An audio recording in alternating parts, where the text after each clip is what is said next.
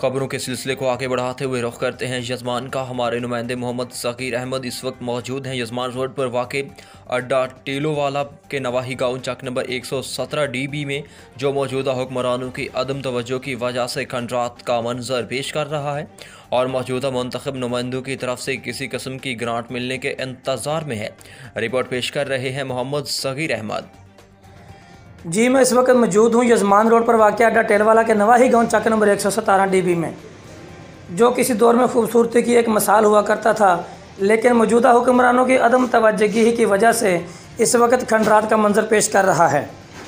चक number एक सौ सतारह डी की मस्जिद वाला चौक किसी दौर में बहुत ही खूबसूरत हुआ करता था, यहाँ पर स्टाल्स और झूले लगते थे, लेकिन इस वक्त जौहर का मंजर पेश कर रहा है।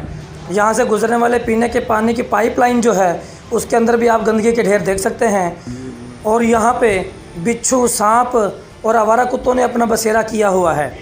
नमाजी हजरात यहाँ से गुज़रते हैं। ये उनके लिए तशवीश का बायस हैं। और जो बच्चे यहाँ से स्कूल जाते हैं, गुज़रते हुए डरते हैं कि कोई सांप, बिच्छू वगैरह या कोई आवारा कुत्ता उनको काट ना ले। हमारी मौजूदा हुक्मरानों से गुजारिश है चक नंबर एक सौ सतारह डी बी को कोई ग्रांट देकर यहाँ पर भी फलाही काम करवाए जाएँ। ब्यूरो चीफ यजमान Mohammad Sagir Ahmad B T V news Pakistan.